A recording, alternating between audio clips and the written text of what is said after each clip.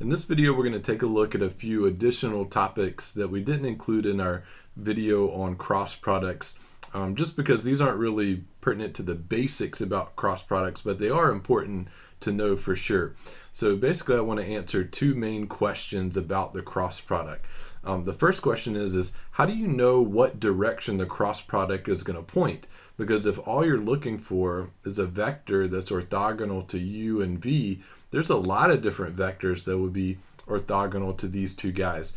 Um, in, in other words, how do you know if it points upwards or downwards or, or which direction this guy's going to point? Or does it matter? Or is there, you know, a, a right answer? And, and yes, there is a right answer. Only one of these guys is correct. So here's here's how we know. Um, here's how we know uh, which one is in fact correct we're going to use something called the right hand rule. The right hand rule. So basically, here's here's what the right hand rule means. Your hand naturally only closes in one direction. It, it can't close backwards. And sorry about the, the poor illustration, but you, you, if you look at my hand here, notice it only closes, the gate or the door only closes one way. So if you're doing U cross V, U cross V, then if your fingers start at U and end at V, your thumb is going to point in the direction of the cross product. So look at these two vectors here. Here's vector U, and that's supposed to be in the background. And here's vector V, which is supposed to be a little closer to us, the, the, the way that I drew it. So for here, U cross V, is it going to be the vector that points upwards or downwards? If your fingers start at U and end at V. Hopefully you said this one. Hopefully you said the one that pointed upwards. Now, if we rearrange these, and if I called this vector U, and I called this vector V, then how would you have to orient your hand so that your fingers would start at U and end at V? And again, remember your hand can only close one direction. I think you would have to turn your hand upside down to start at U and close to V and your vector then would be the green vector for the cross product that points downwards. So anyways, that's a good quick indicator of determining what direction the cross product is going to point.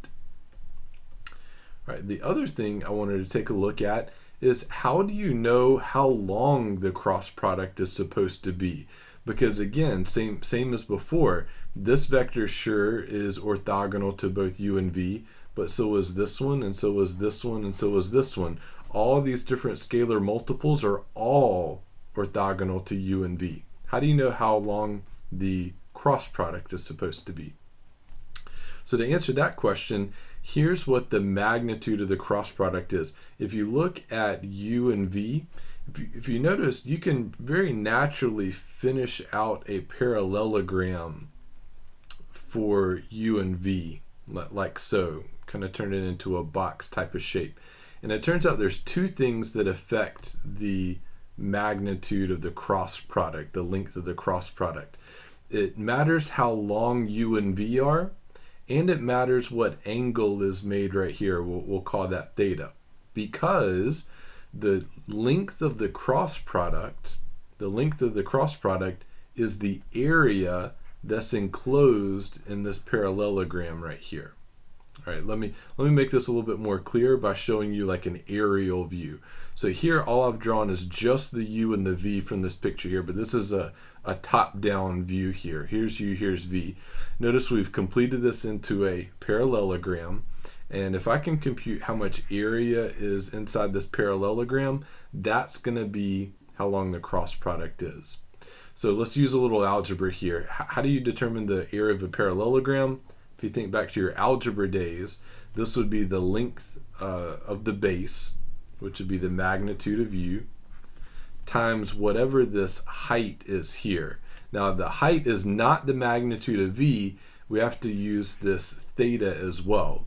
And skipping a little bit of the algebra, it's going to be the magnitude of v times the sine of theta. And basically where I got that from is if you know notice you can make a pretty natural right triangle here.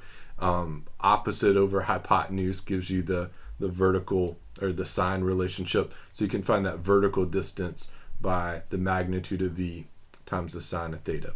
So commit this guy to memory. This is how long the cross product is. So what affects the length of u and v?